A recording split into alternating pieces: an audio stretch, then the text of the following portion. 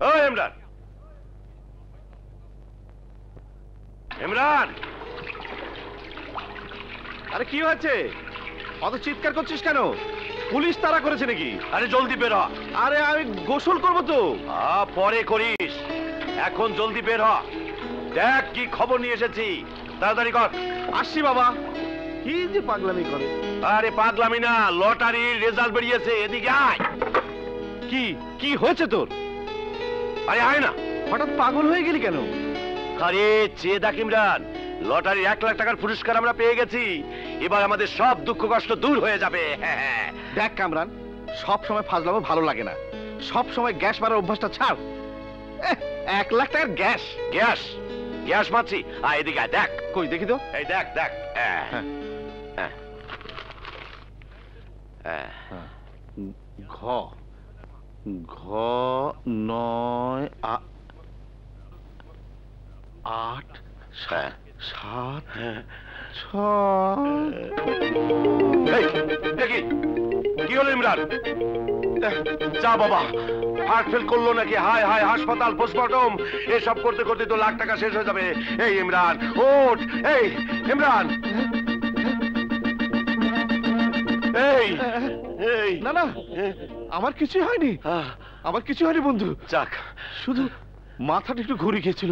দাঁড়া দাঁড়া একটু ভালো করে এই, নাম্বারটা এই, নে। এই নে, এই নে, কই? হ্যাঁ।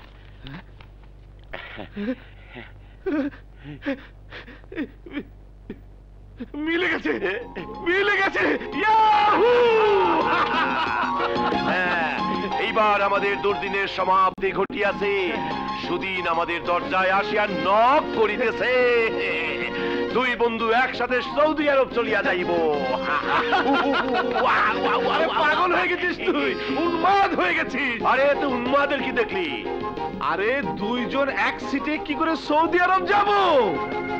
কেন? এক সিটে যাব কেন? দুই সিটে যাব? আসলে তুই খুব সহজ সরল রে Kamran. Boss. Passport, ticket, tax আর নানান খরচ মিলিয়ে একজনের জন্য এক লাখ টাকা লাগবে। দুজন যেতে পারব না, শুধু একজন যাব। ও। তাহলে এক কাজ কর। তুই চলে যা। অসম্ভব।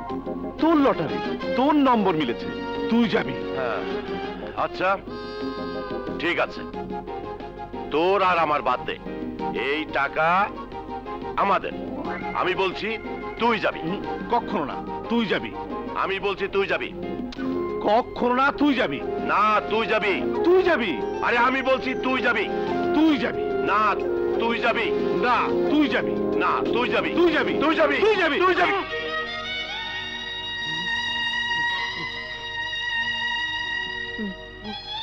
তোকে আমার বন্ধুত্বের কসম রইল। তুই না করিস না বন্ধু। তুই সৌদি আরব যা। ওখানে গিয়ে আগে সেটেলড হ। তারপর আমাকে ডেকে নিবি। ততদিনে আমি এখানে কোনো রকম কাটিয়ে দিতে পারব।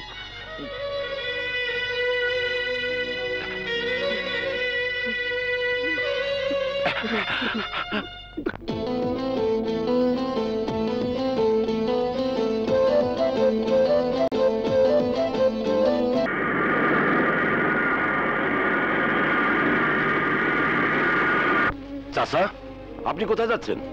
বস্তুর এই অবস্থা কারা করল? সম্রাট দাদার লোকেরা। যাক বাবা জীবনভর তো ভাড়ার জন্য বাড়ি থেকে তাড়িয়ে দেওয়ার হুমকি দিতাম। আজ আমার নিজেরই থাকার জায়গা নেই। তাই গ্রামে চলে যাচ্ছি। দোয়া করো বাবা। আসি। আমিও আসি চাচা। দেখি কোথাও গিয়ে একটা কাজের ব্যবস্থা করতে পারি কিনা। আসসালামু আলাইকুম।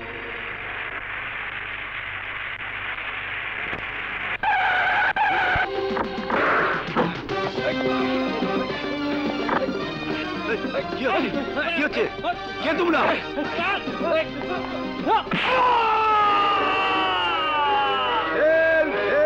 আমাদের বিপকেসটা দিয়ে দে বড়। না জানে শেষ করে ফেলব।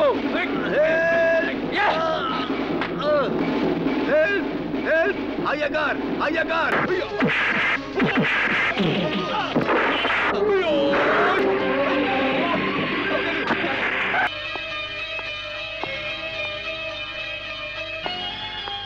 পেশেন্ট এখন কেমন আছে ডাক্তার? ভয়ের কিছুই নেই। Now he is out of danger thanks God operation করে গুলি বের করে দিয়েছি। অনেক রক্ত বের হয়ে যাওয়াতে একটু দুর্বল হয়ে পড়েছে। কয়েকদিন রেস্টে থাকলে ভালো হয়ে যাবে। থ্যাংক ইউ ডক্টর ওর দিকে একটু ভালো করে লক্ষ্য রাখবেন। টাকার কোনো সমস্যা নেই। চিকিৎসার যেন কোনো ত্রুটি না হয়। ঠিক আছে।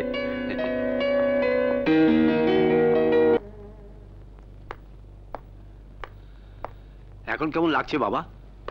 জি, ভালো। তবে থাক থাক, নড়াচড়া না করাই ভালো। তোমার চিকিৎসার কোনো ত্রুটি হবে না, বাবা।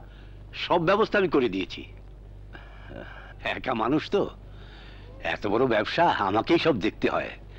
আর হ্যাঁ এই ব্ল্যাঙ্ক চেকটা তুমি রেখে দাও। ইচ্ছে মতো টাকার অঙ্ক বসিয়ে নিও। প্লিজ, টাকা দিয়ে আমাকে ছোট করবেন না। টাকা দিয়ে তোমাকে ছোট করার মতো দুঃসাহস আমার নেই, বাবা। তুমি তো জানো। যে ব্রিফকেসটা তুমি রক্ষা করেছ তার ভিতরে আমার অনেক টাকা আর মূল্যবান কাগজপত্র ছিল। তাই টাকা দিয়ে তোমাকে ছোট করার ইচ্ছে আমার নেই। কামরান কামরান চৌধুরী। তোমাকে আমি কোনোদিন ভুলবো না কামরান। তোমার আর কে কে আছে?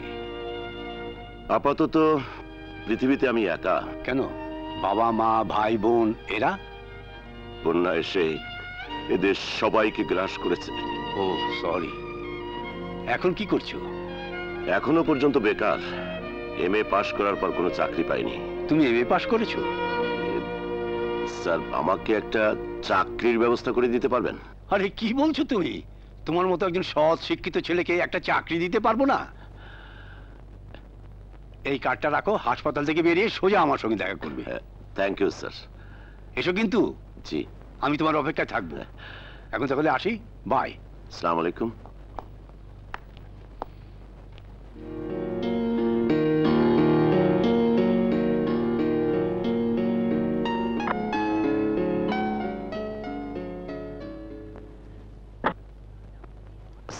আলাইকুম স্যার।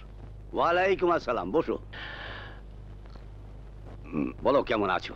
ভালো আছে স্যার। আপনি? ভালো খুব ভালো। স্যার আমার একটা চাকরির কথা বলেছিলাম। চাকরি? চাকরি তো তোমার রেডি হয়েই আছে। রেডি হ্যাঁ কামরান। যেদিন তুমি আমার প্রাণ বাঁচিয়েছিলে সেদিন থেকেই তুমি আমার হৃদয়ে ঠাঁই করে নিয়েছো।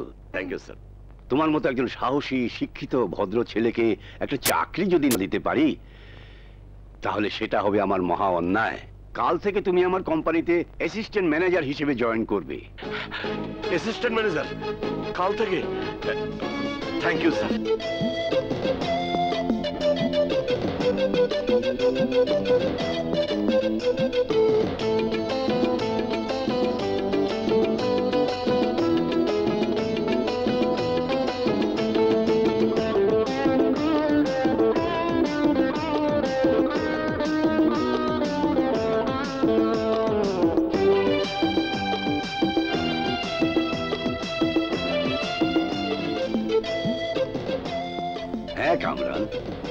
আমি তোমাকে একটা বিশেষ প্রয়োজনে ডেকেছি। তোমার কাজে কর্মে আমি মুগ্ধ। You are very sincere and honest sir আমি তোমাকে একটা অনুরোধ করব। বলুন স্যার বলছিলাম কি?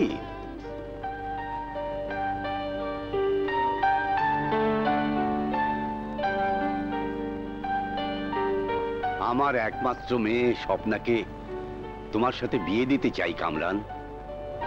জি মানে তোমার কোনো আপত্তি নেই তো বাবা?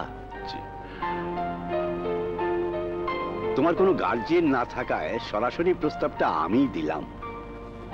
আপনি আমার গুরুজন। আপনি যা ভালো মনে করবেন আমি তাই করব।